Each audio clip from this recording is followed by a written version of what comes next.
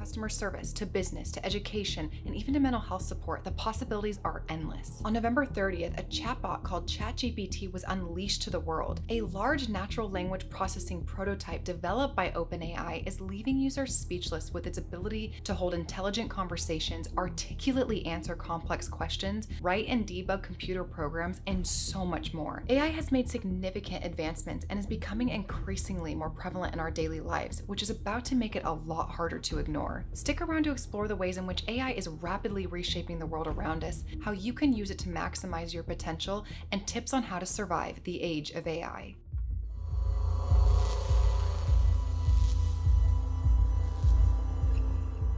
Welcome back to my channel, or if you're new here, I'm Gamma here at Origins Beyond, where I serve as your lighthouse, helping you to navigate this crazy and beautiful human experience with effective mind hacking methods, exploration of consciousness and spirituality, as well as guidance to understanding and utilizing our most revolutionary tools. In this video, we're going to take a dive down into the depths of artificial intelligence and its insane potential it has to completely change your life and the world around us. We'll explore the different types of AI that exist so you can get a more clear understanding and ways you can use ChatGPT to optimize your workflow and skyrocket your productivity. And lastly, if you are someone who dreads or even fears the expansion of AI, make sure to watch until the end where I go over my tips on adapting and surviving this rapidly changing landscape, or what I like to call the age of AI. First, I think it's important to understand the different types of AI that exist. There are three main categories narrow AI, general AI, super AI. Narrow AI, also known as specialized or weak AI, is designed to perform a specific task or function, but it cannot make decisions or think outside of its programmed abilities. Examples of narrow AI are voice recognition software, image recognition algorithms, self driving cars, think Tesla, Siri, Alexa,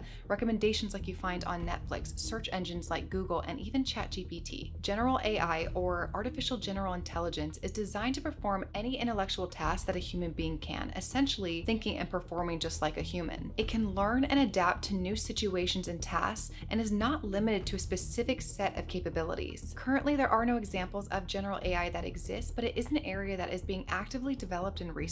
Finally, super AI. This is a hypothetical artificial intelligence that is self aware and has the ability to think and adapt on its own outside of any programming constraints, being significantly more intelligent than even the most intelligent human beings. It's believed that a super intelligent system would be able to solve problems that are currently outside of human capability, posing a threat to the human race if it's not developed and used responsibly. Although there are obviously no real life examples of super AI, we have seen it in science fiction. Data from Star Trek, Skynet and Terminator, Ultron and Avengers, HAL from 2001 A Space Odyssey, and a ton more. Unfortunately, super AI is often portrayed in villainous ways, being actively hostile towards humans or just indifferent towards human suffering.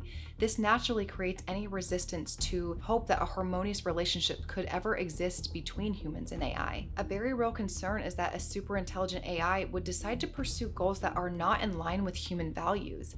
The good news is that OpenAI and hopefully all other AI research and development companies established a research group that specifically focuses on the alignment problem, which just refers to the challenge of ensuring that humans and AI share the same values. Thankfully, this is a key concern at OpenAI. They also established an ethics and society research group to focus on the ethical and social implications of AI. Although superintelligence is not impossible, we are quite a ways from it, and if we do reach that level, hopefully we will have made the significant shifts towards building an infrastructure that could even support a globally scaled super intelligent integration. So what exactly is ChatGPT and how can you use it? As I said in the beginning of this video, it's a large language model chatbot that is designed to hold natural conversations and generate human-like responses. I took it for a test drive and asked it questions on a variety of topics and levels of complexity, and I was absolutely stunned to say the least. So if you haven't already, you just go to OpenAI's website and you can go right up on the top where it says try. It'll bring you to a login or sign up page. Obviously, I've already signed up. The interface is super user friendly. It gives you some example questions to ask, some capability highlights and limitations, which is really great, especially if you're new to this type of technology. You have the option here in the upper left corner to start a new chat, but do keep in mind that it won't remember anything outside of each individual conversation that you have. I started out small and asked it to explain nuclear fusion to a middle school student and to include an analogy. And voila, within seconds, you have a super simplified explanation of nuclear fusion for a middle school age student. Then I wanted to get a little more complex with reframing my questions and requests to see if it could break down and provide me with all the information. Please write six business ideas surrounding the theme of art, mental health, and personal development. So include a detailed outline for each and excellent business strategies. Also, include examples of what could be automated to increase productivity and efficiency. Okay, so imagine you are a professional marketing strategist. Please write imagine a detailed you are a graphic designer. Please list five different brand ideas, including fonts, colors, themes. So I wanted to test its accuracy on programming and asked it to write a script that displayed random affirmations in my browser. So every time I started my PC, my browser would pop up and a random affirmation would display. This is a pretty simple program, but I wanted to see if it could get it accurate the first time.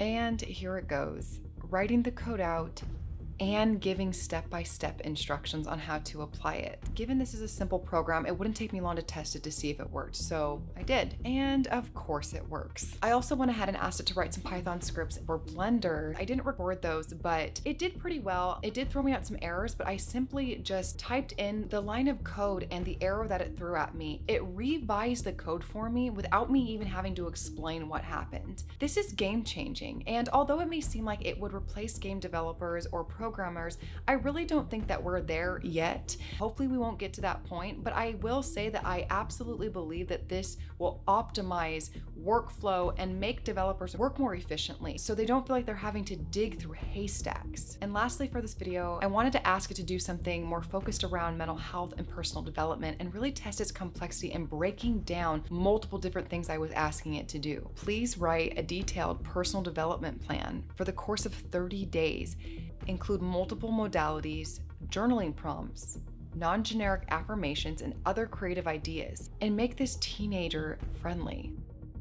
I mean, come on, like, please give unique and creative ideas for Creator's Block. This could absolutely help you to be more efficient, seriously optimize your workflow. There are also a handful of new browser extensions that are specifically designed to work with ChatGPT. I'm not gonna go over those today because I'm trying to keep this video short, but be sure to check some of those things out. So, I mean, these questions and tasks weren't extremely complex, but the responses were generated in seconds with accuracy and can easily be fine tuned. If you don't like the responses you're getting, reframe the question. The way ChatGPT responds will change depending on the persona that you give it. Now, keep in mind that in its current state, it does not have access to the internet. Its knowledge is basically stuck in 2021. Imagine what its capabilities will be when it comes online.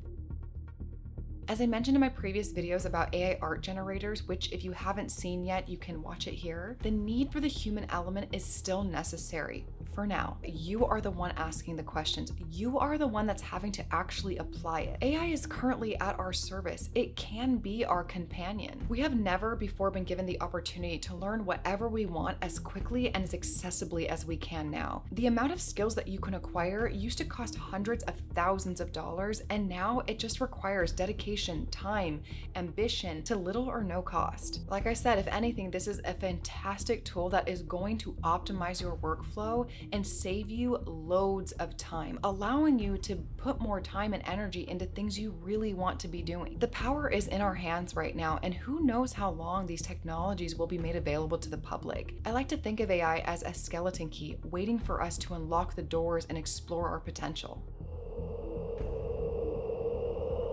Surviving the age of AI is largely about being adaptable, informed, and aware of the risks and opportunities that this technology presents. Here are some tips to stay ahead of the curve. Stay informed about the latest developments in AI. This will help you to understand what is and isn't possible, the risk and the benefits. Continue to learn how to use AI tools and technologies. By learning how to use AI, you will be better equipped to take advantage of the opportunities that it presents and have a better understanding of how it works. Understand the limitations of AI. Although this is an incredibly powerful technology, it is not a substitute for human judgment and common sense. Understand its limitations and use it appropriately. Protect your personal information. Privacy has been an issue since the beginning of the internet, and as AI advances, security is going to become a lot more complex and harder to control. Be mindful of what you share online, use strong passwords, be careful of phishing scams. Research ways to protect your personal information the best that you can. Be open to new opportunities. Although AI probably will replace a lot of human jobs, it will create many new job opportunities. Be open to learning new skills and adapting to new technologies. My hope is that we will quickly have some sort of regulation put into place on companies using AI that protects employees from being completely terminated. In the event that AI were to replace their job, the company would protect them and move them into a new role covering all costs, training, whatever is needed for that full transfer. Stay critical and ask questions. Do not blindly accept everything that you hear about artificial intelligence. Last last but not least, probably the most important tip I can give you is get involved. There are so many groups and organizations working to develop the responsible use of AI. Consider joining one of these groups so you can stay informed and have a say in the way that it's developed. AI has the ability to completely change the world as we see it, and it will. While it's critical to consider the ethical concerns surrounding the development and use of AI, the new exciting developments are also worth keeping an eye on. If you made it till the end, thank you so much for watching, and I hope you found this video informative, and inspiring. If you did, please give me a thumbs up and let me know your thoughts in the comments below. Don't forget to hit that subscribe button so you don't miss any of my upcoming videos, and I look forward to seeing you guys all in the next one. Until then, sending my love and high frequencies. Peace.